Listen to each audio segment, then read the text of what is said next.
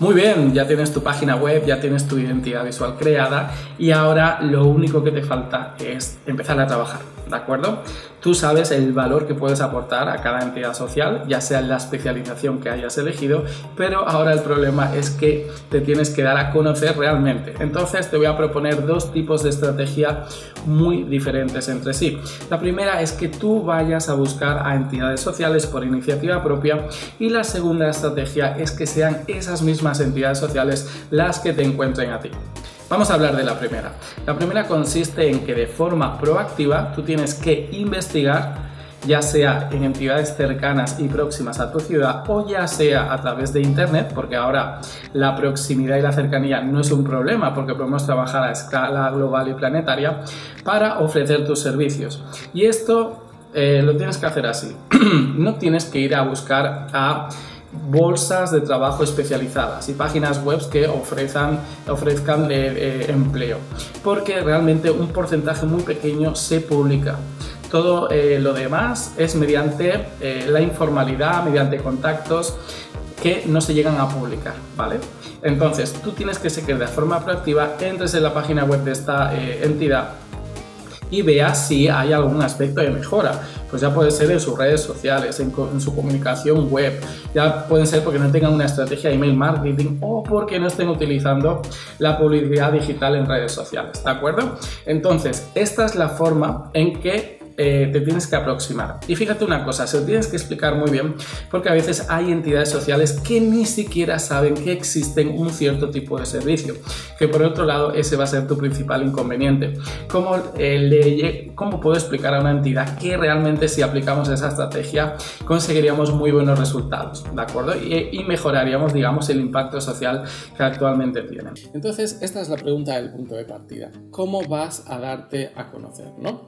Y sobre todo, cómo empezar desde cero eh, si aún no tienes experiencia en trabajar con organizaciones sociales. Estoy seguro que tienes experiencia contrastada y probada en varios sectores, en varios trabajos, en varias empresas, pero lo que realmente cuenta es que hayas trabajado eh, anteriormente con una ONG. Pero fíjate que el concepto de experiencia no eh, se ciñe a un trabajo remunerado. Puedes haber tenido experiencia, por ejemplo, como voluntario o dando servicios pro bono. Esto también cuenta como experiencia y quiero que, que, contemples esta posibilidad, ¿no? Entonces, mira, esto que importante, renunciar a tus expectativas iniciales forma parte del plan al principio no va a salir como tú lo esperas, ¿no? Pero esto está muy bien saberlo porque no te va a doler, forma parte del plan. Ya sabes que la primera ONG o la primera eh, organización social sabes que no va a ser el cliente ideal porque vas a priorizar otro tipo de criterios eh, que no son otros que conseguir la primera experiencia. Por lo tanto, las condiciones, el sueldo o el tipo de trabajo te debe dar igual solo al principio. ¿de acuerdo? Porque forma parte del plan. Entonces, una cosa muy importante que quiero decirte, nunca envíes un currículum vitae, ¿vale? Eh, antes de ello, pues envía el enlace a tu web y si aún no tienes, pues el enlace a tu perfil de LinkedIn, ¿no? ¿Por qué nunca tienes que enviar un currículum? Porque cuando tú envías un currículum, te pones en una posición subordinada. Es decir, tú estás esperando la aprobación la validez eh, de la otra persona que está al otro lado para que te diga, mm, a ver el currículum, bueno, si eres lo suficientemente bueno, te voy a llamar o no te voy a llamar. Y no estamos en una situación de empleado ya nunca más.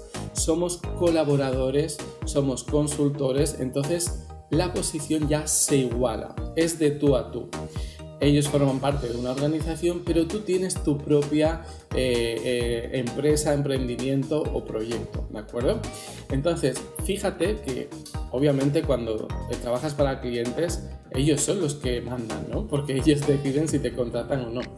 Pero la relación profesional cambia completamente, porque no te tratan como de jefe a empleado, sino te tratan de jefe a jefe, porque tú eres el jefe de tu proyecto. Así que nunca envíes un currículum para presentar tus servicios. Muy bien, formas de empezar desde cero. Tú puedes presentar tu ayuda en un trabajo muy concreto y específico, un trabajo que no te cueste demasiado. Eh, te pongo un ejemplo. Imagínate que tú sabes perfectamente estructurar, diseñar y lanzar páginas web, que lo has hecho en tu anterior trabajo y entonces eh, le haces un diagnóstico, fíjate, ¿eh? un diagnóstico a una ONG, le dices, hey, mira, tu página web podría mejorar en estos aspectos y yo sé cómo hacerlo, además te, lo puedo hacer en determinados tiempos, ¿no? Eh, esta ONG accede y tu objetivo prioritario, eh, ojalá que sí, pero no debe ser eh, cobrar un buen sueldo, sino empezar a trabajar ya con esta ONG. Incluso puedes darle este servicio totalmente gratuito. ¿Por qué? Porque a partir de este servicio tú puedes pedirle a cambio pues que te deje comunicar que tú le estás haciendo este trabajo, que te deje poner su logo en tu página web eso quiere decir que tú ya como consultor estás empezando a rodar y a funcionar, ¿de acuerdo?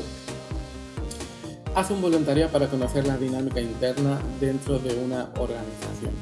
de la teoría a la práctica ya sabes que hay una diferencia. Entonces, una buena forma de saber cómo funciona una organización social es haciendo un voluntario. Encima un voluntariado muy, muy cualificado, donde tú vas a dar como un servicio muy concreto a cambio de pasar eh, horas y horas dentro de esta organización.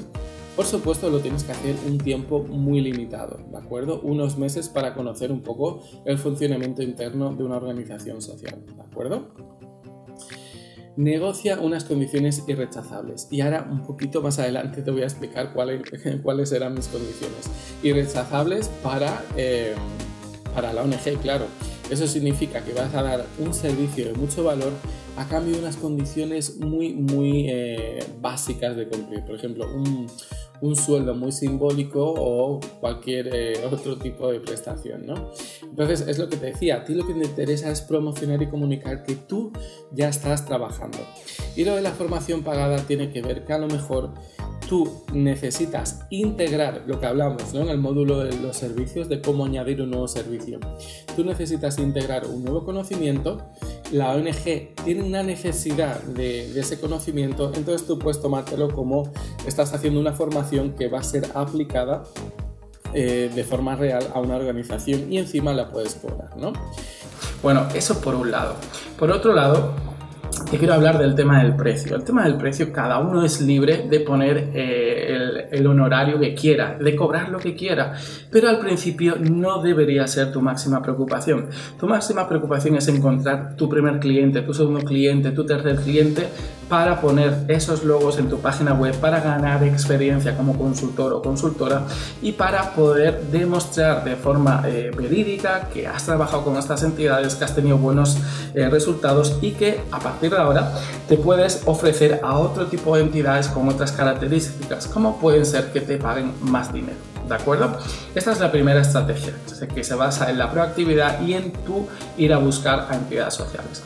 La segunda estrategia se basa en el marketing de contenidos, inbound marketing, es decir, es en generar constantemente publicaciones, artículos, posts en redes sociales, vídeos para YouTube, es decir, tu propio material para, para posicionarte como experto o experta en determinado tema, que la gente cuando vaya a buscar ese tema, es decir, cuando vaya a resolver un problema o encubrir una necesidad, le salgas tú antes que cualquier otro competidor hablando de cómo se soluciona este problema y así posicionarte como consultor experto en esa materia. Fíjate, yo te voy a ser muy sincero. Al principio empecé, como la primera estrategia era yo quien iba a buscar entidades sociales y luego a lo largo de los años, pues la tónica habitual es que sean las mismas entidades sociales quien me conectan, me contactan por, las, eh, la página web, por las redes sociales, me escriben un email, en un seminario o en una conferencia, pues me, me se acercan. Entonces, eh, no son antagónicas. A lo mejor puedes aplicar una en un periodo inicial y luego otra cuando tengas más tiempo, ¿no? O incluso complementarias, si tienes un equipo de trabajo y quieres eh, incrementar este volumen de, actividad profesional. Entonces, bueno, estas son las dos recomendaciones que, yo te haría. Y en el tema de, de, generar contenidos, te voy a dejar un ejercicio para que veas todas las posibilidades de generación de contenidos para dar a conocer tu valía como profesional y, eh, y te lo puedes descargar, ¿de acuerdo? Pues te dejo con este ejercicio y nos vemos en el siguiente vídeo. Chao.